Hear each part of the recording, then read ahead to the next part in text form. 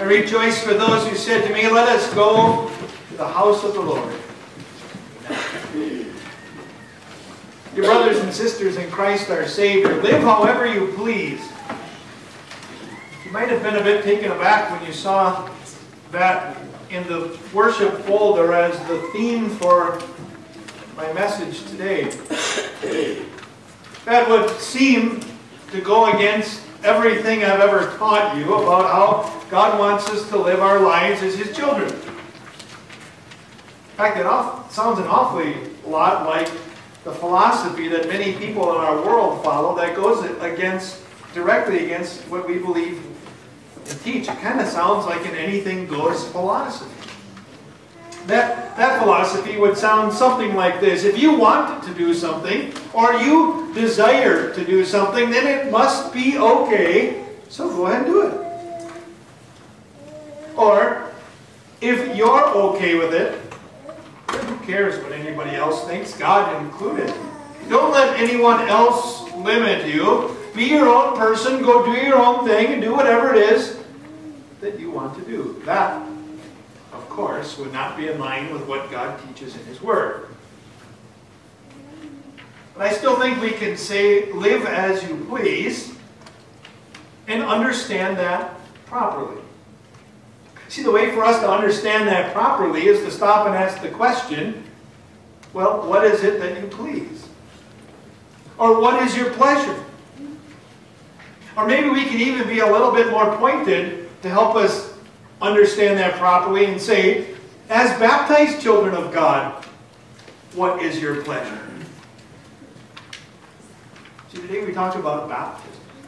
And, and as we talk about our baptism, we're reminded that baptism wasn't just a one-time event that had one-time effects. It was a one-time uh, event where God brought some great blessings into our life, but those blessings are ongoing and continue to impact and influence every single day as we live our lives as God's people.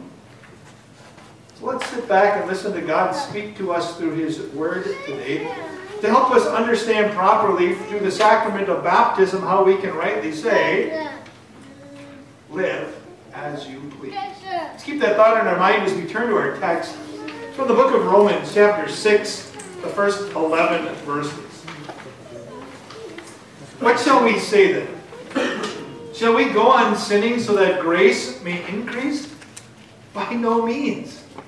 We are those who have died to sin. How can we live in it any longer? Or don't you know that all of us who were baptized into Christ Jesus were baptized into his death? We were therefore buried with him through baptism into death, in order that just as Christ was raised from the dead through the glory of the Father, we too may live a new life.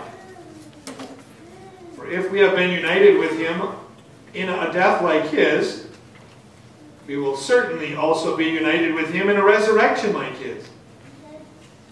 For we know that our old self was crucified with him, so that the body ruled by sin might be done away with, that we should no longer be slaves to sin, because anyone who has died has been set free from sin. Now, if we died with Christ, we believe that we will also live with him. For we know that since Christ was raised from the dead, he cannot die again.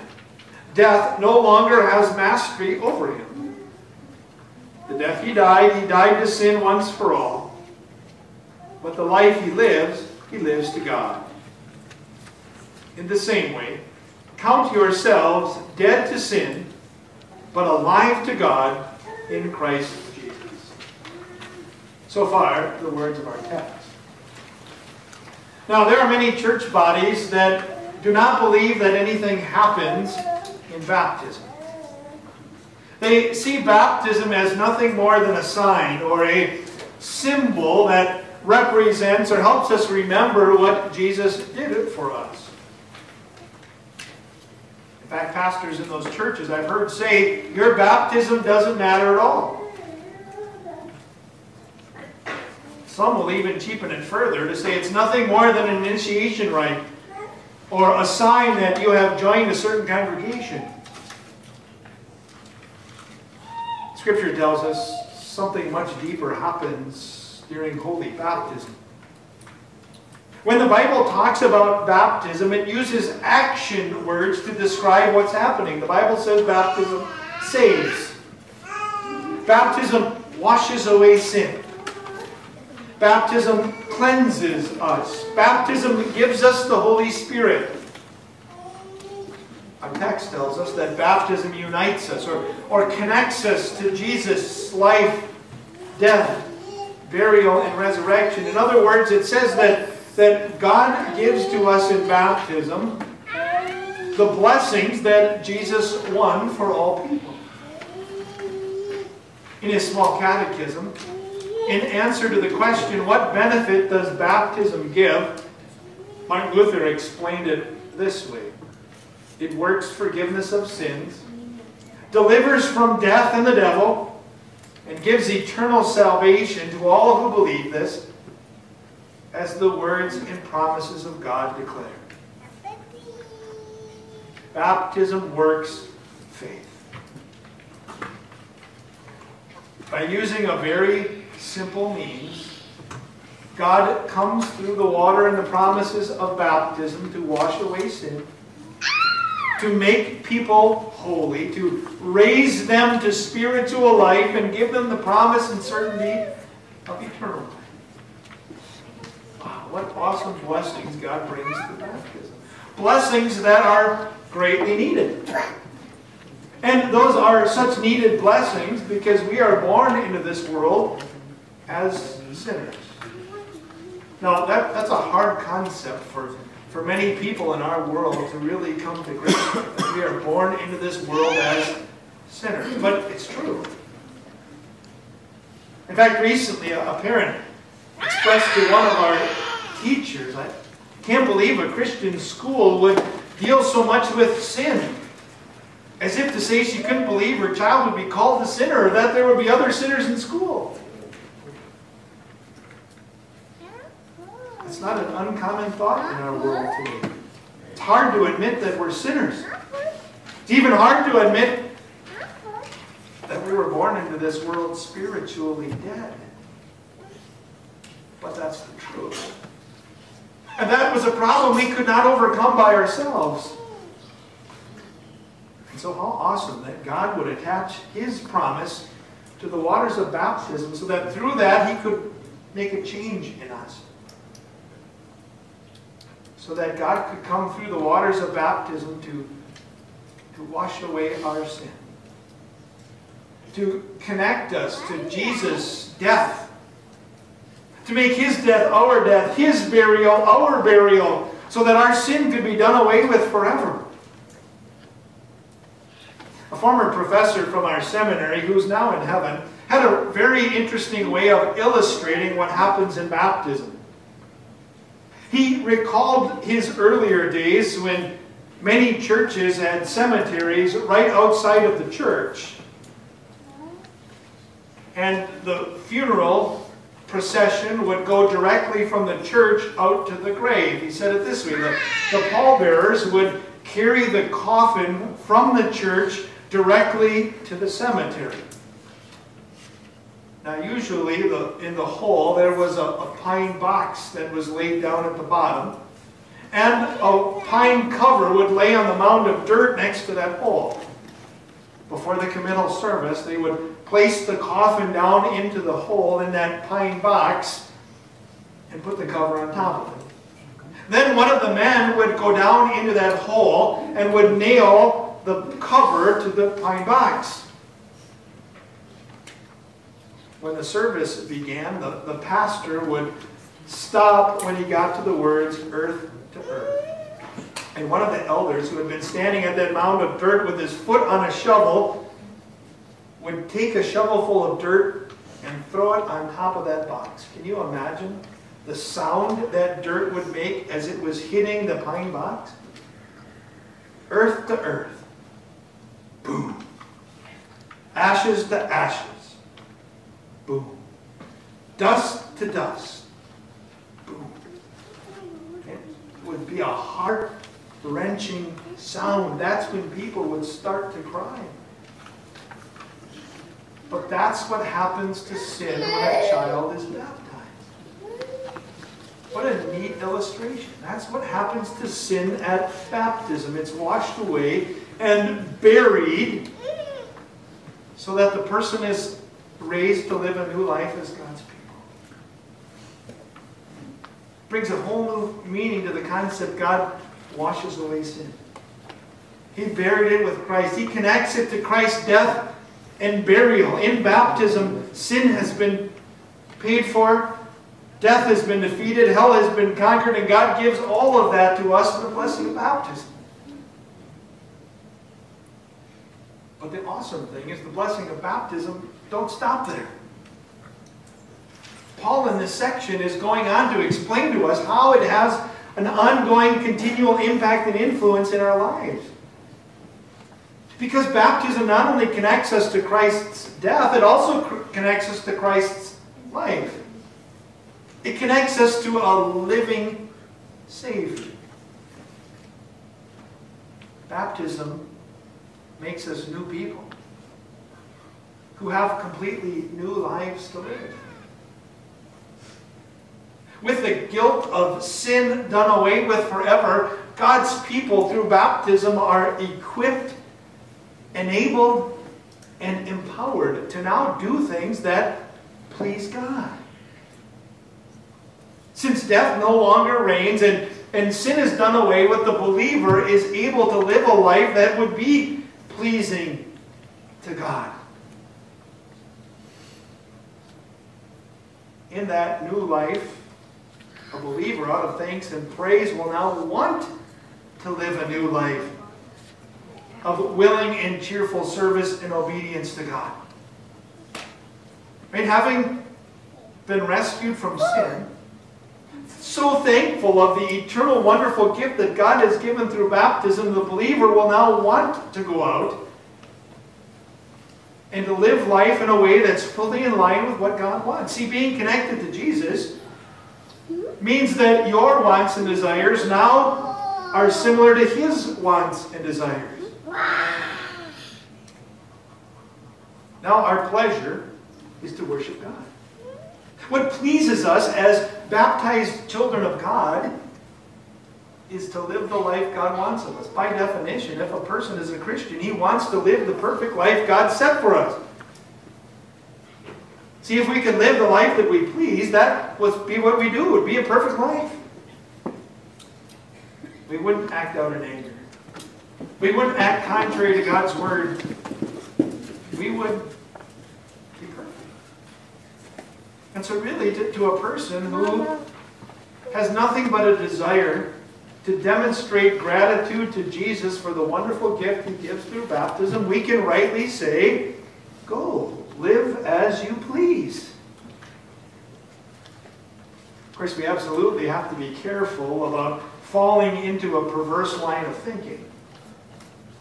Paul, up to this point in Romans, had been talking about God's grace and, and what a wonderful gift God's grace is.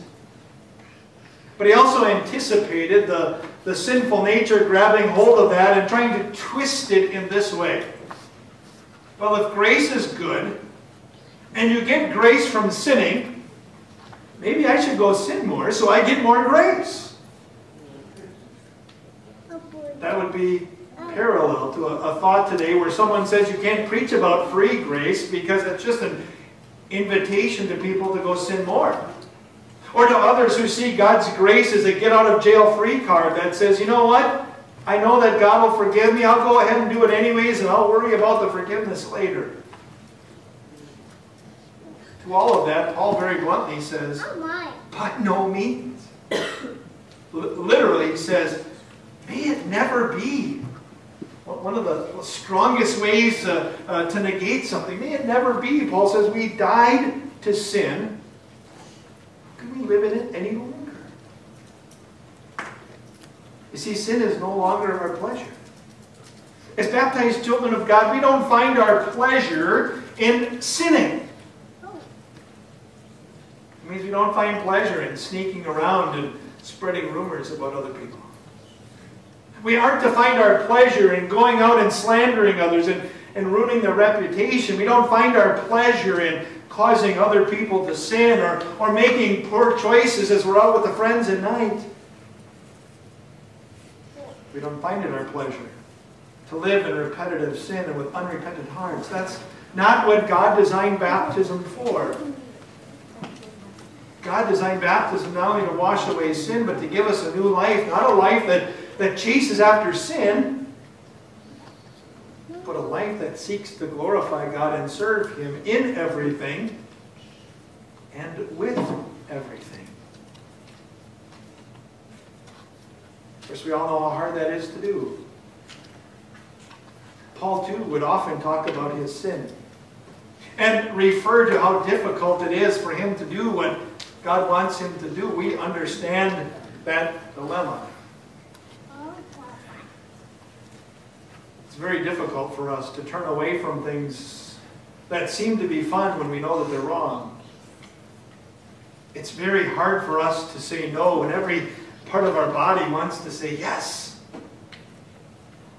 We know that doing the right thing is not usually doing the easy thing.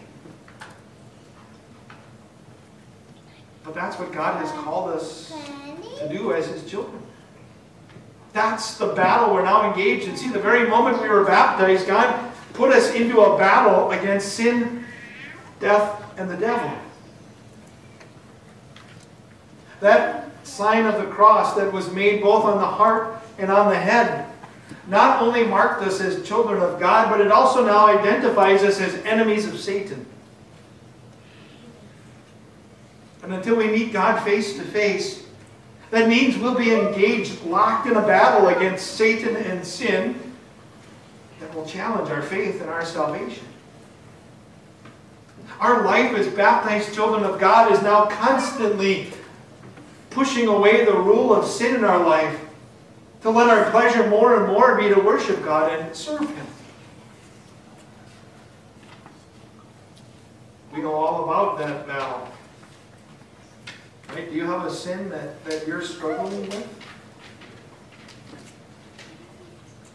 Do you have a, a sin that that keeps rearing its head in your life? Does your, your temper flare up and, and let itself loose too often and, and hurt others that are close to you? Are obscenities a, a normal part of your vocabulary? Do bitterness and, and gossip flow all too easily from your lips? Do your loins burn with desire for someone who isn't your spouse?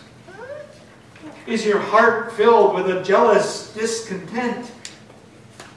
Is there a sin that, that you keep doing over and over again, even though you've told yourself, I'm not going to do that again? And even though you promised God, it'll never happen. And yet it keeps happening over and over and over. We know what it's like to be a slave to sin. We know what it's like to feel as if sin is our master, that it just controls us. There's doesn't allow us to do the good we want to do, almost forces us to do the evil we don't want to do. This is the battle we face. And yet here's where the, the blessing of baptism comes in. And makes an influence, an impact in the life that we live each and every day. First and foremost, when we commit those sins, we can go back to our baptism and be reminded of and encouraged by the fact that then at that baptism, God washed our sins away.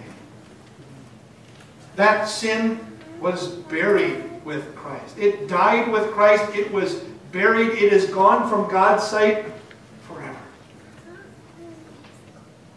And as we're encouraged by that fact, we also remember baptism also now freed us from sin as our master. Now we are free as children of God to serve God. Now you can deny your anger. You're no longer a slave to sin. You have a choice. Obscenities no longer control you. Sin is not your master. Bitterness and gossip no longer lead you.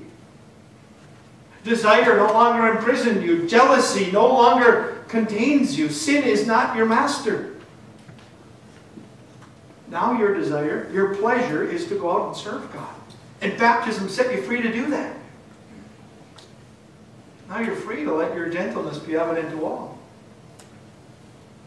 Now you're free to let praises flow from your lips.